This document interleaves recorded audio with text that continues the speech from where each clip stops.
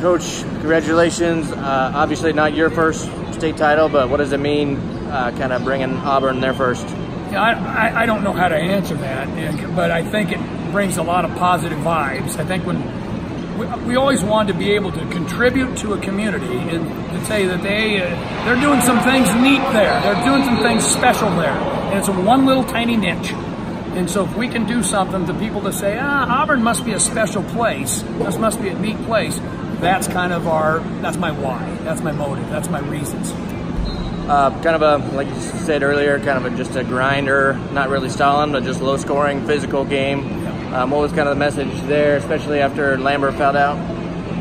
Well, we, we do a lot of four minute games, and we haven't lost a four minute game in a week in practice. And with 341, we said, guys, one more four minute game, we're going to find a way.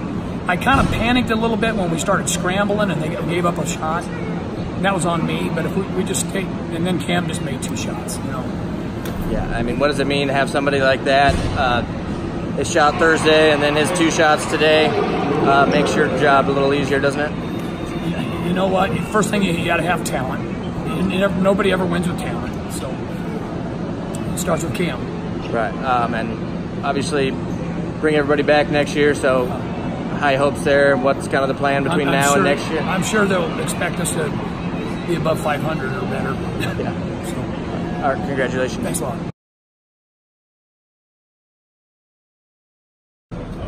Uh, Cam uh, obviously played the hero tonight. Um, first of all, what does it mean to give uh, Auburn first uh, state championship means, school history? It means everything. I've said to like a million reporters that it makes grown men cry, and I'm 100% sure there's a grown man crying up there right now. And it, it means everything to me. It means everything to my family. It means everything to this team. It means everything in my life. It's what I've been working for since I was two years old. Pick up the basketball. So. Um, kind of a, like coach said, big grinder out there. Um, yeah.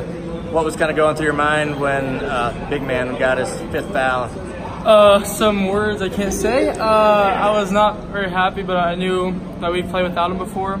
I know it's a huge loss, but we could do it. I believed in ourselves. So. And then obviously your two biggest shots of the game, uh, six year, 14 there in the last minute or two. Um, seems to be kind of your theme this week, big shots. Uh, what was kind of going through your mind on those?